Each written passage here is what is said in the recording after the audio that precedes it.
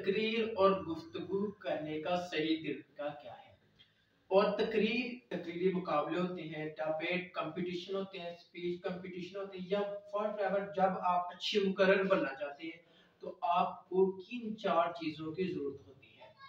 ये बुक लिखी है डील करंगी ने जिसके सफ़ात है 159 उसमें से जो मैंने इसकी समरी निकाली है, सिर्फ़ चार लफ्ज़ों पे पूरी बुक है। अगर वो चार क्वालिटीज आप अपने अंदर ले आए तो आप अच्छे मुकर्र बन सकते हैं, अच्छे डबेटर बन सकते हैं मुकर्र बन सकते हैं। वो चार खूबियाँ मैंने इधर व्हाइट बोर्ड में लिख दी है कि खुद ही को कर बुलंद इतना कि हर तकदीर से पहले खुदा बंदे से खुद पूछे, बता तेरी रजा क्या है। ज़िंदगी के किसी भी फ़ील्ड में अगर आप कामयाब होना चाहते हैं किसी भी फ़ील्ड, किसी भी शोबे में, किसी भी मकाम पर अटेन करना चाहते हैं, वहाँ अपना नाम पैदा करना चाहते हैं। तो आपको जिस चीज़ की पहले नंबर पर ज़रूरत होती है, वो खुद एतमादी है कि खुद ही को कर बना इतना कि हर तकदीर से पहले खुदा बंदे से खुद पूछे, बता तेरी रजा क्या है। इसीलिए तो अकबाल ने कहा था, मंजिल से बढ़कर मंजिल तलाश कर। मिल जाए तुझको दरिया तो समुंदर तलाश कर।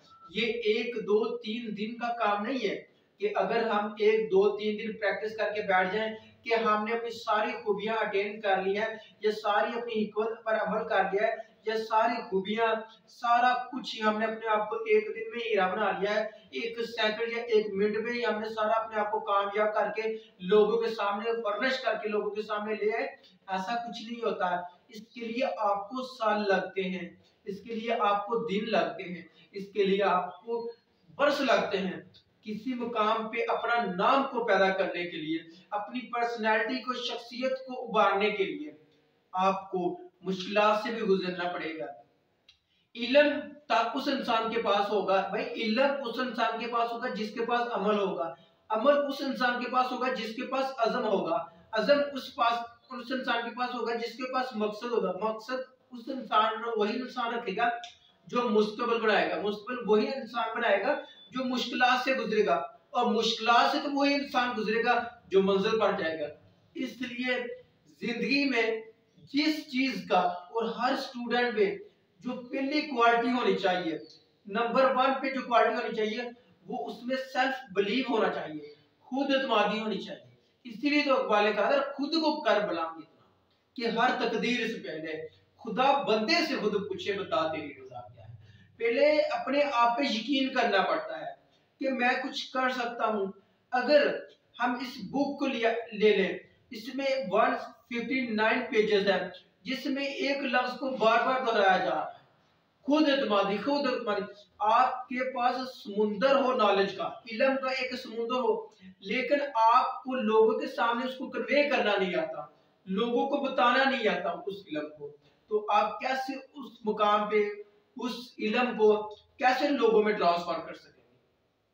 अगर आप एक राय हिदायत जानते हैं, सीधा राह जानते हैं, सच्ची बात जानते हैं, कोई भी नेक सलाह देना चाहते हैं नेक बात बताना चाहते हैं, सीधी और खरी बात बताना चाहते हैं, लेकिन आपके पास इतना बलीव नहीं है कि मैं इनको ये बात बता दूँ।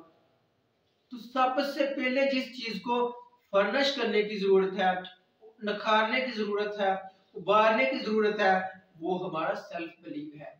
सेल्फ बिलीव कॉन्फिडेंस सबसे पहला फैक्टर है।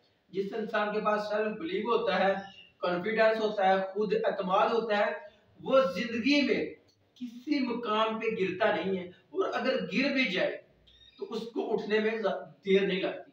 वो गिरता है, उठ जाता है क्योंकि पास उसके बाद खुद एतमादी होती है। उसने अपने अंदर को जाना होता है कि मेरे अंदर क्या है। कि मैं गिरूँगा नहीं तो फिर उठूँगा कैसे? अगर मैं मुश्किल से दो चार नहीं होगा तो कल मैं एक मुकाम तक कैसे पहुँच सकूँगा? इसलिए ज़िंदगी में गिर जाना एक हादसा है। गिरे रहना अपनी मर्ज़ी है। ज़िंदगी में गिर जाना एक हादसा लेकिन वही पे गिरे रहना अपनी मर्ज़ी होती है इंसान की। कि गिर जाना किसी भी मुश्किल में आप परेशानियों का मुकाबला करना पड़ सकता है। आप वहाँ फेल हो जाते हैं। लेकिन आप ये डिसाइड कर ले कि मैंने यहाँ से उठना ही नहीं है, मैंने फेल ही रहना है ज़िंदगी में तो ये आपकी मर्ज़ी होती है। पहली बात मैंने कर दी है, खुद एतमादी की और दूसरे नंबर पे हम जिस चीज़ की बात करें भाई, इलम, अगर आपके पास लाखों किस्म का कॉन्फिडेंस हो, खुद एतमाद हो, फर्निश किए गए हो डायमंड की तरफ़ हो, लेकिन आपके पास इलम ना हो, अमल ना हो, नीयत ना हो, इरादा ना हो, कोई चीज़ बोलने का, कहना का, किसी को कोई बात पहचाने के लिए, इसलिए आपको दूसरे नंबर पे जिस चीज़ की ज़रूरत होती है, वो इलम है। एतमाद के साथ इलम हो तो फिर इंसान नहीं गिरता। इसलिए इलम की प्रैक्टिस इलम तो एक कोई ऐसा कुछ गिनती नहीं है, सोता कि हम एक दफ़ा गिन ले तो इलम हमारा मुकम्मल हो जाएगा। ना ही इलम दो या तीन या चार, पाँच घंटों में आ सकता है। इसके लिए आपको सदियाँ लगती हैं बर्स लगते हैं। नथिंग इज़ इम्पॉसिबल कोई चीज़ नामुमकिन नहीं है। किसी भी शोबे में आप अपने आप को डिसाइड कर ले कि मैं अपने आप को नखार लेके मैं इस शोबे में अपने आप को लेके जाना तो ज़िंदगी के हर फैक्टर को ऐसे जिए कि ये ज़िंदगी का आखिरी लम्हा है। जब आप ऐसे हर लम्हे को इंजॉय करेंगे, उस पर इतनी शिद्दत से मेहनत करेंगे तो आप ज़िंदगी में किसी फ़ील्ड में, किसी मुकाम पे, किसी मर्तबे पे नाकाम नहीं होंगे। मंजिल से बढ़ के मंजिल तलाश कर। ये इसीलिए कहा गया था कि एक मंजिल तू डिफाइन कर ले तो उस पे अपने आप को महदूद करके नहीं बैठ जाना। इसलिए उससे आगे भी उठना है। आगे की मंजिल की तरफ़ राय अपने आप को गामजन करना है, ठीक है? ये दूसरी चीज़ थी मुस्तकिलम तीसरी चीज़ है मुस्तकिल मिजाज। अगर आप में कंसिस्टेंसी नहीं है, अगर आप ज़िंदगी में एक मुकाम पे फेल होते हैं, गिर जाते हैं, परेशानियाँ आती है मुश्किल आती है, मुसीबतें आती है, और भी कोई बलाएँ आ जाती हैं तो आप में इतनी कुत मुदाफत नहीं है इम्यून सिस्टम नहीं है कि आप उनका मुकाबला कर सके तो आप भी फिर वही वही तकरीर, अपना मुकाबला, अपनी गुफ्तु अपना सेल्फ बिलीव खो देंगे। इसलिए वहाँ से आप नेक्स्ट अपने कदम को उठा नहीं सकेंगे। इसलिए सेल्फ बिलीव भी होना चाहिए नॉलेज भी होना चाहिए कंसिस्टेंसी भी होनी चाहिए। ये तीसरी बात थी।